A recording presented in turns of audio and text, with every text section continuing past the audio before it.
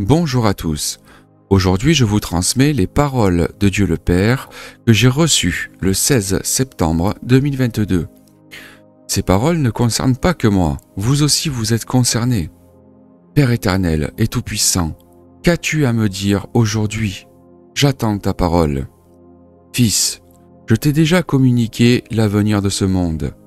Comme je te l'avais déjà dit, depuis le début de cette pandémie, je vous ai tous mis dans le désert pour voir mes fidèles, car mes enfants me sont infidèles. Tu t'obstines à vouloir sauver le monde. Tu en as le pouvoir, car je te l'ai transmis par mon esprit. Mais tu es refusé, tout comme lui. Je te l'ai déjà expliqué, tu ne peux pas sauver tout le monde.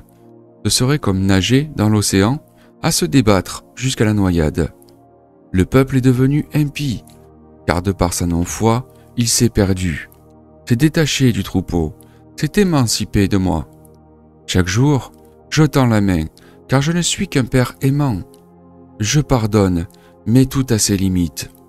Viendront à toi ceux que j'aurai guidés vers toi. Fais attention, mon fils, car tu as déjà trop donné de tes pouvoirs aux vautours de ce monde. Je ne parle pas de ce que je t'ai donné en capacité, mais de ton amour inconditionnel car tu es une lumière, née de ma lumière. Le peuple se conduit ainsi, ne voulant rien croire. Avoir la foi, c'est croire en une chose qui ne se voit pas. Et pourtant, je vous donne à tous, toujours et en tout lieu, une part d'abondance, mais personne ne veut le reconnaître et préfère dire c'est la vie. Seulement, il est trop tard quand la mort frappe ce qui fait souffrir, ce n'est pas la création, mais la mort. Il n'est pas indigne de pleurer ses morts, mais il faut penser qu'ils me reviennent. Que dois-je faire? Que m'envoies-tu faire? Fils, continue de témoigner. Ce que tu fais portera du bon fruit. Cependant, veille à ne plus tendre ta main à ceux qui n'en ont pas réellement besoin. Ce que chacun de vous doit comprendre, c'est que tout comme la vigne, il y a un pied et des racines qui en forment le corps. Puis poussent les branches ainsi que les feuilles, puis enfin le fruit.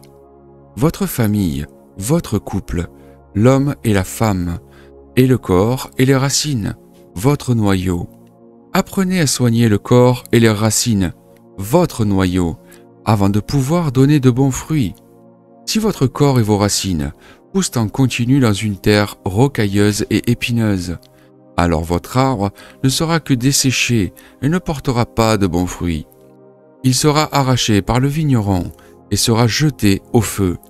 Cependant, si votre corps et vos racines sont éloignés et que votre arbre ne pousse pas dans une terre rocailleuse et épineuse, alors celui-ci portera du bon fruit qui se propagera, sera partagé avec joie après la récolte.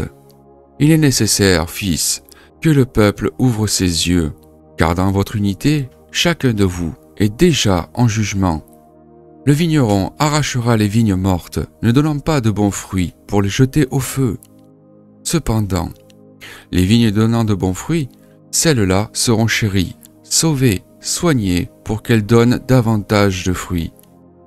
La moisson arrivera ainsi que le temps des récoltes. Qu'ai-je donc à dire au peuple pour qu'il comprenne? Comment dois-je agir? Continue de témoigner des bienfaits que je te donne. Continue de transmettre ma parole. Continue de transmettre ma lumière avec amour inconditionnel et pardon. Mon peuple, mes enfants, doivent tous apprendre à pardonner et à avancer. Car si mes enfants ne veulent pas pardonner, ni s'aimer les uns les autres comme moi, je vous aime et vous pardonne. Alors pourquoi moi, je devrais encore continuer à vous pardonner Comme je te l'ai dit, le temps de la moisson arrive, ainsi que celle des récoltes. Voyez les signes que je vous envoie au travers de ma création. Cessez d'être incrédule. Cessez d'endurcir vos cœurs et de les rendre imperméables à mon amour, à ma présence, à mon Esprit Saint, ainsi qu'à mon Fils Jésus, qui s'est donné pour vous en rémission de vos péchés continuels. Je te bénis, mon Fils, car de ton cœur tu en as fait ma maison, et de ton esprit tu en as fait mon temple. C'est ce que je désire le plus, que mes enfants en fassent de même. Je ne désire pas de temples matériels, mais des temples bâtis dans l'esprit. Celui qui bâtit mon temple en son esprit et m'accueille dans sa maison, qui est son cœur, alors celui-là vivra dans l'abondance et vivra éternellement. Je te bénis, ainsi que ton entourage, tout comme le fut Abraham avec son peuple. Va et reste dans la paix de mon Fils Jésus de Nazareth. Je te remercie, Père, pour ces paroles de sagesse et d'amour. Puisse-t-elle servir et qu'elle soit entendue par tes enfants. Amen. Mon frère, ma sœur en Christ, ce message est un des anciens messages que j'ai voulu partager.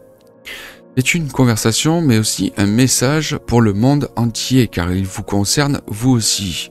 Malgré que ce soit une conversation, des messages sont transmis au travers.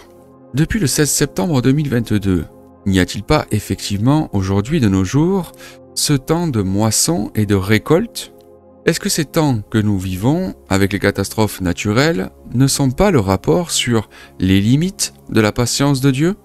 N'est-il pas en train de nous lâcher la main?